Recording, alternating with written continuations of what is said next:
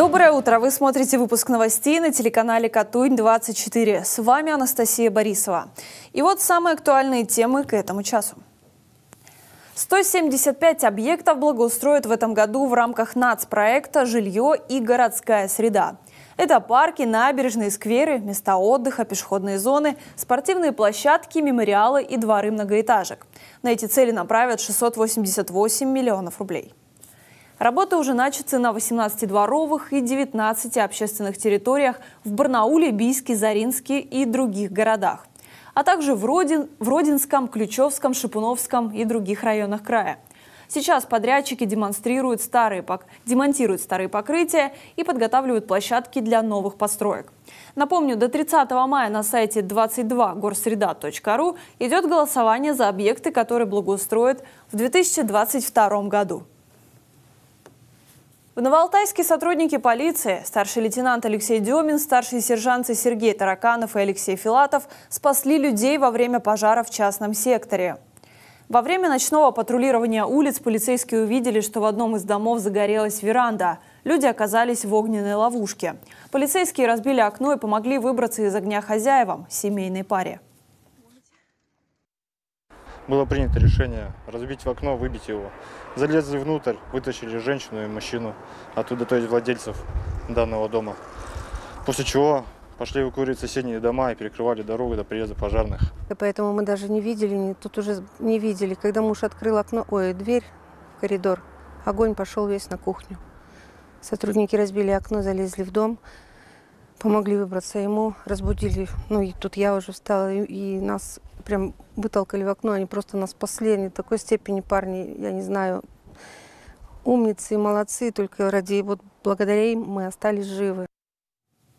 От супругов сотрудники патрульно-постовой службы узнали, что в доме имеются баллоны со сжиженным газом, и они в любой момент могут взорваться.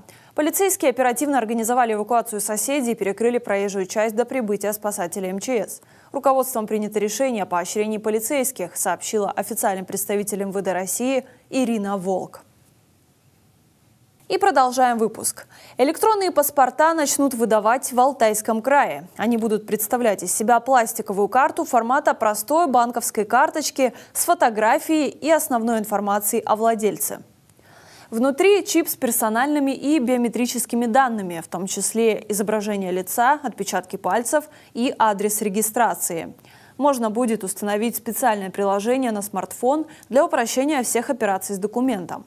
В Москве такие документы поступят в обращение уже в конце текущего года. В регионах, в том числе в Алтайском крае, к середине 2023 года. Завершается прием заявок на участие в 23-м Всероссийском Шукшинском кинофестивале.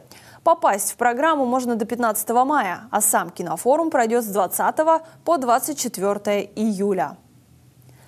Напомню, программа фестиваля включает основной конкурс, полнометражное игровое кино, конкурс короткометражных фильмов, внеконкурсные показы, ретроспективу отечественных фильмов, презентации кинопроектов и мастер-классы, творческие встречи гостей и авторов со зрителями. И продолжаем выпуск. Межрегиональный агропромышленный форум «День сибирского поля» пройдет 22 и 23 июня на территории Сибирского агропарка. В рамках форума в Алтайском крае пройдет выставка племенных животных.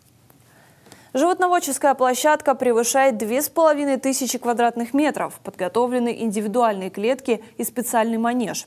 В событии примут участие 22 племенных хозяйства – Гости агрофорума увидят лучших племенных животных региона – крупный рогатый скот, лошадей, овец, коз, уток и соболей. Их отбором занимаются специалисты Центра сельскохозяйственного консультирования.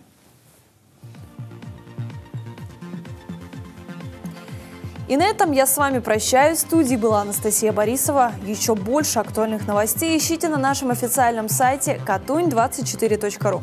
А также предлагайте свои темы, возможно, мы расскажем о них в нашем эфире. Не переключайтесь и смотрите Катунь 24.